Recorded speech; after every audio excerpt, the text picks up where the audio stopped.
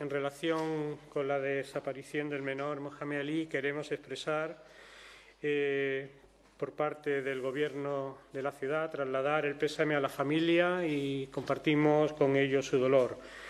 Y a la vez también felicitar a, a la Policía Nacional y a los servicios medioambientales de la ciudad por el excelente trabajo realizado.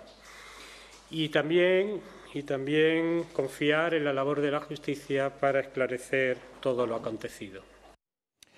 Es el pésame, como han escuchado, del gobierno de la ciudad a la familia de Mohamed Ali. Este viernes, la médico forense ha enviado al Instituto de Medicina Legal los restos hallados en la tarde de ayer en la zona de la Torre de la Alquería para confirmar de esta manera que pertenecen al joven asesinado. Buenas tardes, noticias en la televisión pública.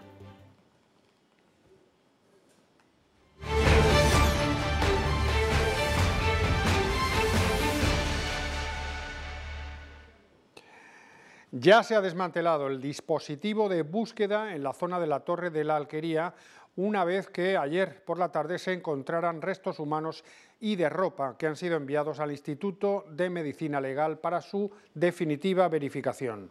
De esta forma se confirmará de manera oficial que esos restos son los del joven Mohamed Ali. La médico forense ha enviado los restos encontrados en el entorno de la Torre de la Alquería al Instituto de Medicina Legal para que se cotejen y se pueda establecer si el ADN pertenece de esos restos al joven Mohamed Ali. Un envío que ha sido decretado por parte de la forense con carácter urgente, aún así esas pruebas, esos análisis eh, tardarán varias semanas dado que ahora se tiene también que cotejar el rastro eh, biológico con familiares como la madre, padre, hermanos para eh, corroborar que el ADN coincide con la familia de Mohamed Ali y poder atestiguar así que se traten de los restos del joven desaparecido en enero de 2022. Mientras tanto, en la zona de García Aldave, donde se ha rastreado durante estos días, el dispositivo ya ha concluido, se ha desmantelado y por su parte la UDICO continúa realizando las diligencias y las instrucciones de la investigación al respecto. La unidad sinológica se ha desplazado ya a su punto de origen, ha vuelto a Madrid y recordamos eh, que la investigación permanece bajo secreto de sumario.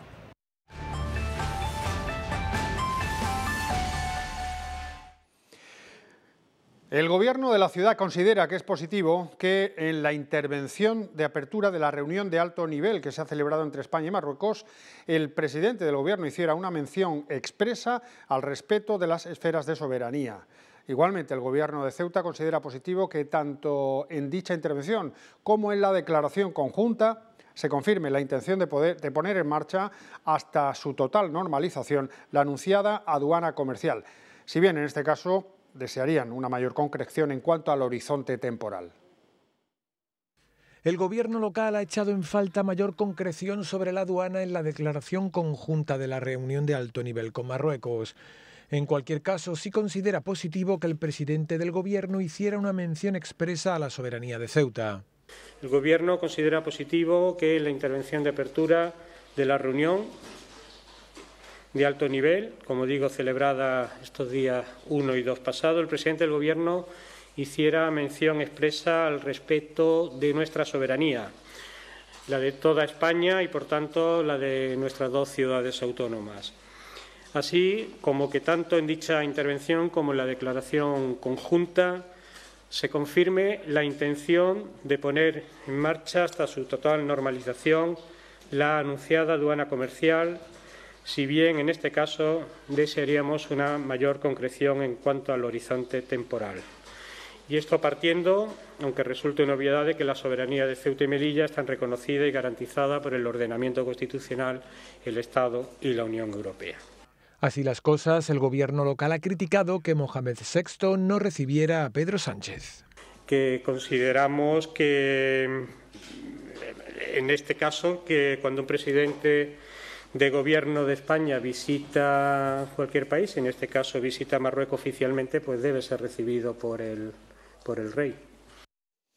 La misma reflexión la hemos encontrado en el portavoz del Grupo Parlamentario Popular en la Asamblea de Ceuta, Carlos Rontomé, que considera que la reunión de alto nivel en Rabat, la celebrada estos últimos dos días, ha sido clave para tratar los aspectos relacionados eh, con la aduana comercial, aunque hubiera sido necesario concretar más sobre la fecha de su puesta en funcionamiento confirmar la intención de, ambos países de, abrir la vía de la frontera de la, aduana comercial, que es una cuestión que entendemos que es positiva. Evidentemente, también ha habido una referencia expresa al respeto de la soberanía, de las esferas de soberanía de ambos países, que también entendemos que es una cuestión positiva si bien la, parte que, valoramos de forma más negativa ha sido la falta de concreción de, ese periodo en el caso de la, apertura de la, aduana comercial, que creemos que hubiese sido necesario concretar más ese, pues ese, tiempo en el que se, prevé que esté en funcionamiento más allá de las pruebas que ya se han hecho. Desde el PSOE de Ceuta consideran este encuentro hispano-marroquí como un hito y confían en que a raíz de esta reunión se ratifiquen nuevos acuerdos que beneficien a ambos países. Estamos ante un hito de las buenas relaciones que existe hoy en día entre España y Marruecos. Yo creo que nunca jamás se había, se había dado. Es verdad que a nosotros siempre nos gusta ser prudentes en este aspecto y dejar que las negociaciones sigan avanzando. Pero también es verdad y estamos convencidos de que van a salir buenos acuerdos de esta, de esta negociación y que le van a dar riqueza y empleo a ambos países.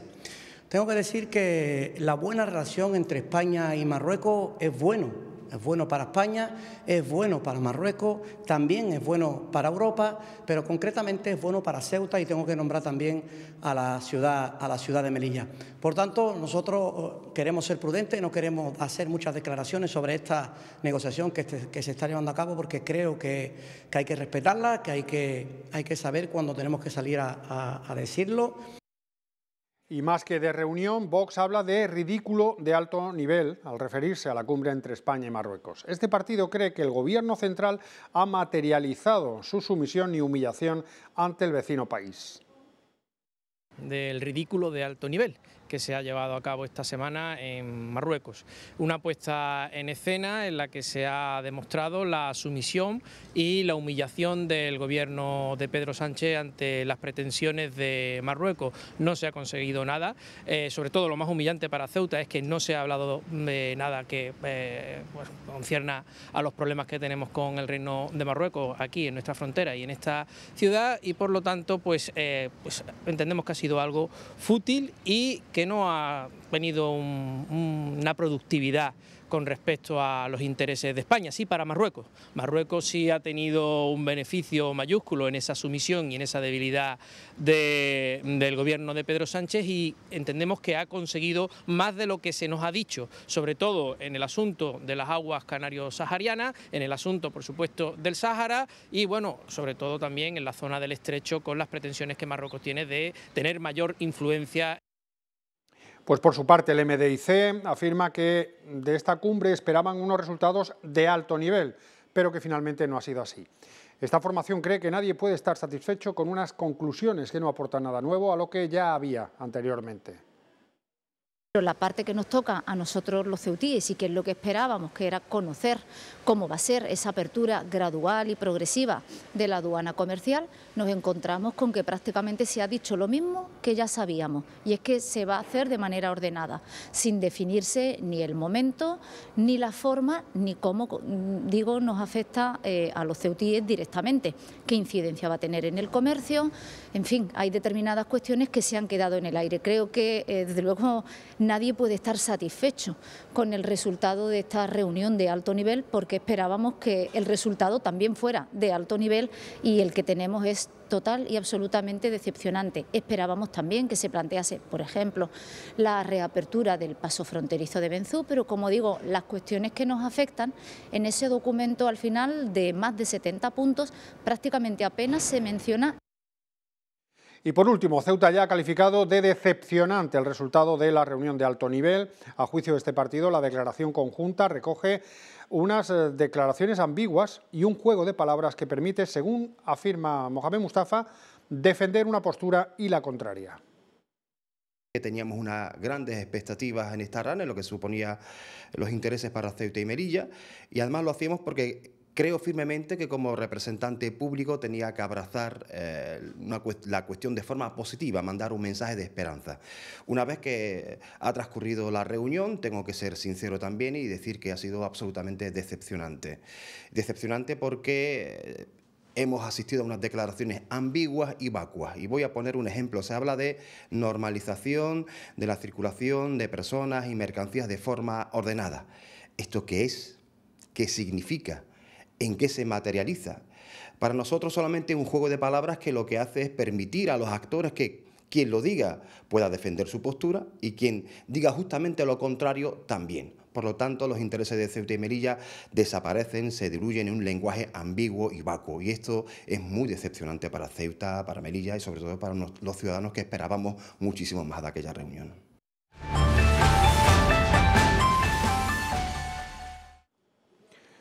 La rectora de la Universidad de Granada, Pilar Aranda, ha presidido el acto académico de la celebración del patrón de la Facultad de Educación, Economía y Tecnología, Santo Tomás de Aquino, del campus de Ceuta.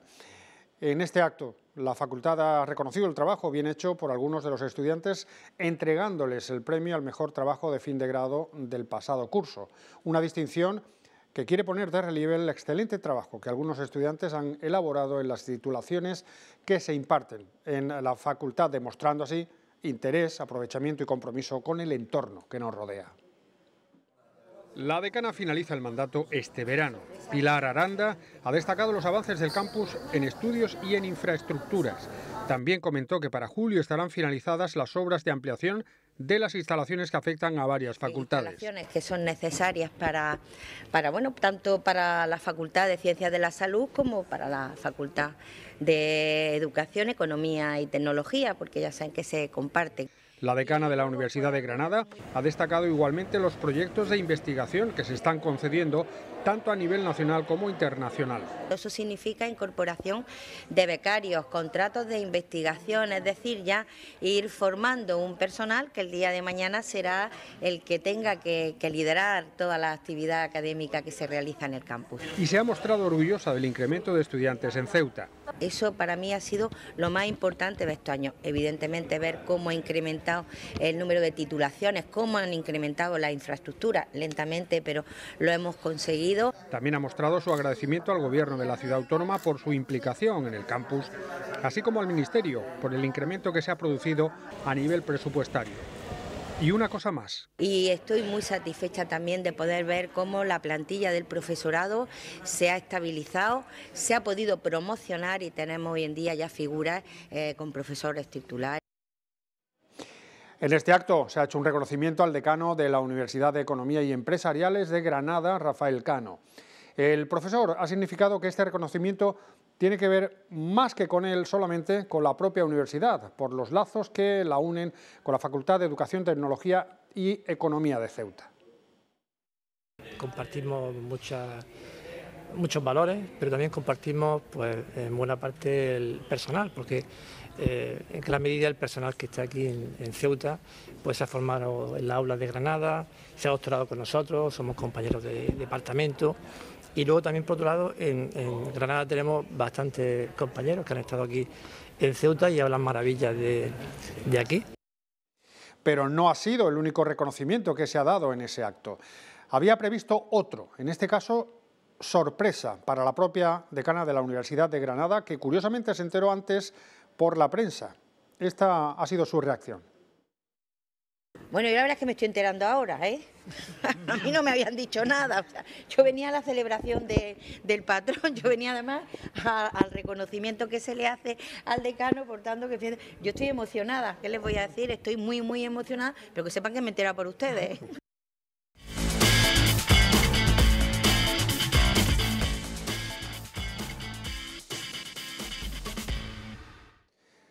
Ceuta y Fuenlabrada miden fuerzas este domingo en el Alfonso Murube, dos equipos en puestos de descenso con aspiraciones a mantener la categoría, aunque los madrileños aventajan en 11 puntos a los ceutíes.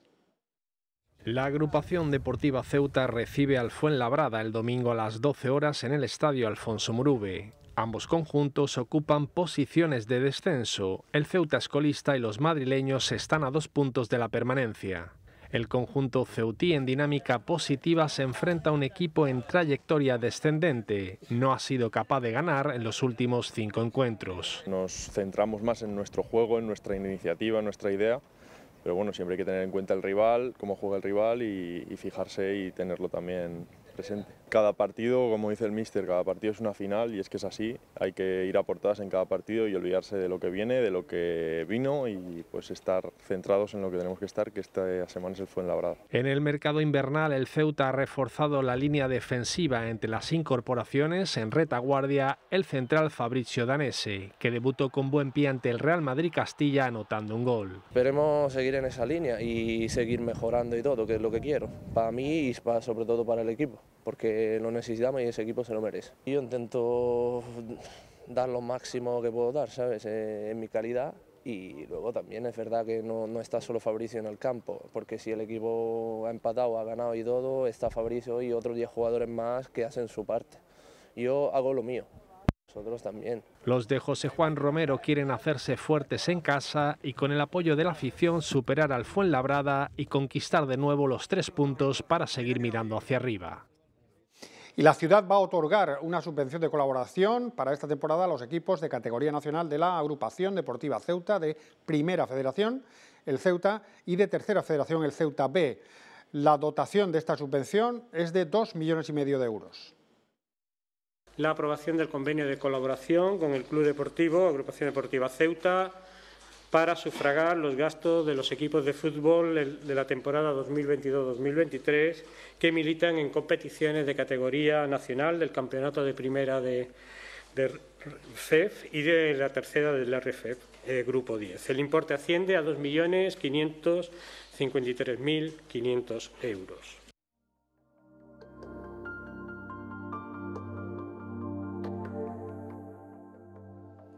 Vamos a con la previsión del tiempo para las próximas horas. Día soleado con poca nubosidad el que estamos disfrutando este viernes. La mínima ha estado en los 12 grados, la máxima no subirá de los 16. Sigue soplando levante. Pocos cambios para mañana, por no decir ninguno. Seguiremos con la bonanza para un sábado de cielos soleados y temperaturas que siguen oscilando entre los 16 de máxima y los 13 de mínima. Tras su llegada en su escala inaugural el pasado 14 de enero y su segunda escala el pasado 4 de febrero, el MSC Lírica de la prestigiosa compañía MSC Cruceros ha realizado hoy la tercera de las 10 escalas que tiene previstas hasta finales de mayo. El buque ha llegado al muelle de España procedente de Casablanca y parte a las 8 de la tarde hacia Málaga. A bordo navegan 1.750 cruceristas de nacionalidad europea y norteamericana y más de 750 tripulantes de diversas procedencias. Con la colaboración de servicios turísticos se ha organizado el operativo de guías y autobuses para realizar las distintas visitas que la compañía de cruceros tiene planificadas en la ciudad. Y el Centro de Adultos Miguel Hernández ha celebrado su primera graduación de alumnos de secundaria para adultos un acto que ha estado lleno de orgullo tanto por parte de los alumnos como por el personal docente. Es la primera graduación de alumnos de secundaria para personas adultas que se celebra en el Centro Miguel Hernández. Es una enseñanza oficial de la ESO, el título que se obtiene es el de graduado en ESO y va dirigido a todas las personas que necesiten sacarse su graduado en ESO para poder seguir su formación o para el trabajo. Un curso cuatrimestral que empezó en septiembre. Mm, tú estudias y apruebas si no estudia, pues no aprueba. Y al final esfuerzo y dedicación ya está. Pero te dan los profesores mucha facilidad para, para poder aprobar. Y significa mucho para mí, ya que es uno de los primeros títulos que te dan y te permite seguir adelante con los estudios. Un acto lleno de orgullo tanto por el personal docente como por los propios alumnos. Llevaba muchos años sin estudiar, yo dejé los estudios muy joven y entonces pues era algo que quería, que quería hacer y la verdad que sí, que estoy, estoy orgullosa. Ellos se lo merecen y para ellos es un gran orgullo y poder llegar a una meta que les ha costado mucho porque muchos trabajan, muchos tienen pues mucho que hacer en casa y bueno, y han sacado su tiempo, han venido con mucho esfuerzo y se lo han sacado y se lo merecen. Y se lo merecen porque todo el esfuerzo les ha proporcionado esta recompensa. Tenía esa espinilla clavada y bueno, Y yo, vamos, animo a todo el mundo que, que lo haga. Animo a la gente a que se saque esto, ya que es fácil y te da muchas salidas. Y cuando hablamos de esfuerzo, no solamente hablamos del de los estudiantes. Estamos inmersos en un curso de alfabetización digital. Nos tenemos que poner también las pilas nosotros. ellos, los alumnos, avanzan mucho y nos requieren que nosotros nos pongamos al día y estamos haciéndolo. Un trabajo en equipo que ha tenido como resultado esta graduación y que nos recuerda que... Nunca es tarde, nunca es tarde. Y que siempre podemos continuar con nuestra formación. Hasta aquí lo que ha sucedido en la primera mitad del viernes. A las ocho y media vuelven las noticias para completar el relato de la actualidad de la jornada. Pasen buena tarde. Adiós.